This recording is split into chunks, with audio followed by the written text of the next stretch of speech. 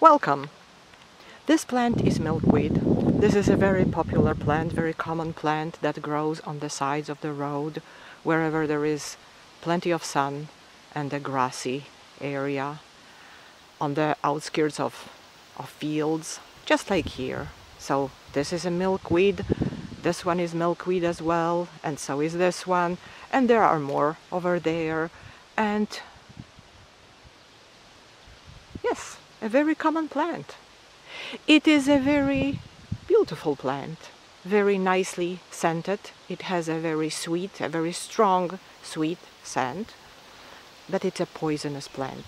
So there are not that many animals that might be tempted to eat it. You can see a bee here, which is uh, feeding on the nectar but uh, the nectar is not is not poisonous. So there are no animals that would eat this plant. It's highly poisonous except for a caterpillar of a monarch butterfly. And here it is.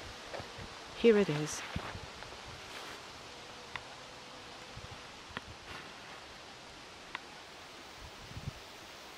Can you see it? It's right here I hope you can see it. Let me put the leaf down a little bit. Can you see it? Look how beautiful it is. All stripy. So, as I said, the milkweed is poisonous. The milkweed is poisonous and the caterpillar itself, where is it? Here it is let me put the leaf down, and the caterpillar itself becomes poisonous. And when it transforms into a chrysalis and then a butterfly, the butterfly that emerges from the chrysalis is poisonous as well. It is very brightly colored, it's very bright orange with some black design on the wings, and just like many other poisonous animals, it is warning the, other, the potential butterfly eaters don't eat me because I'm poisonous. Don't eat me because I am. Um, you will be sick when you when you eat me. And that's that way. There are no birds brave enough to eat monarch butterflies. Look how beautiful it is, and look, the leaf it sits. The leaf it sits on, it's is partially eaten already.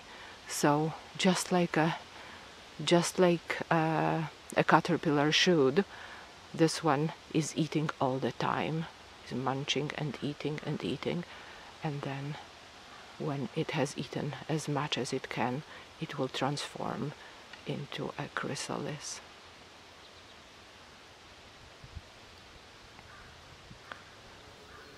Isn't it cool? Let me let me try to to show it to you from from a little bit different angle. Isn't it absolutely cool? Absolutely gorgeous.